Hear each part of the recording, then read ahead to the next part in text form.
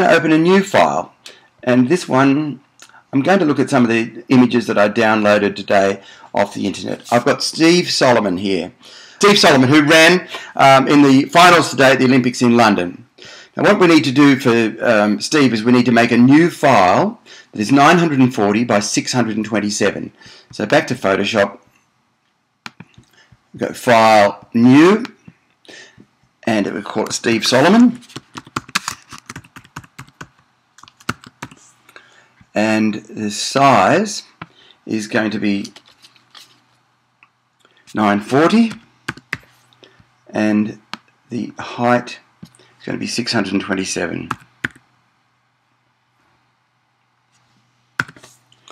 We're going to have an RGB colour and we're going to have a transparent background. Go OK to that. And then because I've got him in my downloads, I come to File and I go Place. And in the dialog box that comes up, I choose my uh, downloads. And I'm looking for Steve Solomon. So here we down here under S. Here we go, Steve Solomon and I'll go place. And there we have Steve sitting gloriously in the middle of the screen. Just press your enter key or click the tick at the top of the screen to accept that. Now what I like to do here is I like to duplicate the layer so it's command J I've got a new layer I'm going to turn that bottom layer off okay you can't tell but now I'm back working in the top layer but what I want to do is I want to use the quick selection tool today so come up here to the fourth from the top on your toolbar and click the click the quick selection tool.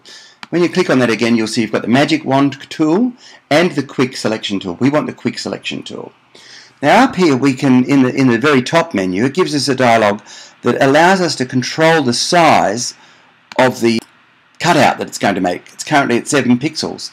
You can put a number in there or you can dry, drag the slider along I think probably 25 pixels, 24 pixels, um, with a fairly sharp or a fairly hard edge is going to help here.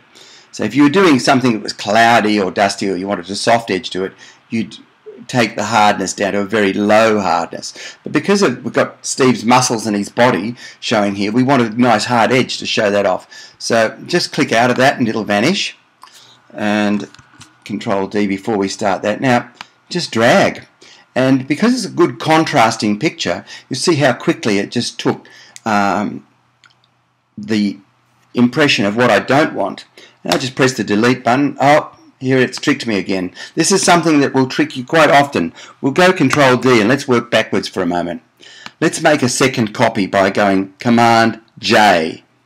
Now Shift Command E will make those two layers that we just made then into one and it will turn a non-editable object into editable object. So now we can edit this. So now I can come back in and I can click there and just drag and see how it just fills up the whole space with the uh, marching ants and click delete and there we've got a really good clean cut of um, the silhouette of Steve's body and do it again at the top there and you'll see you've got a nice clean edge again click delete come over to the other side click delete when you select a bit.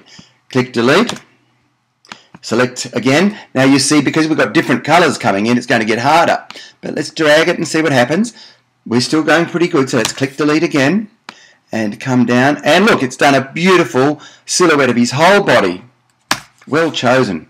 Uh, now go um, Command D to deselect that and now take the cursor and put it in the space where his uh, arms have created those triangles up to his head and see just one click but look down at the bottom of his neck it's actually taking away a little bit of his neck so get the option key and we're holding the option key down just click there and you see it takes it out of the selection.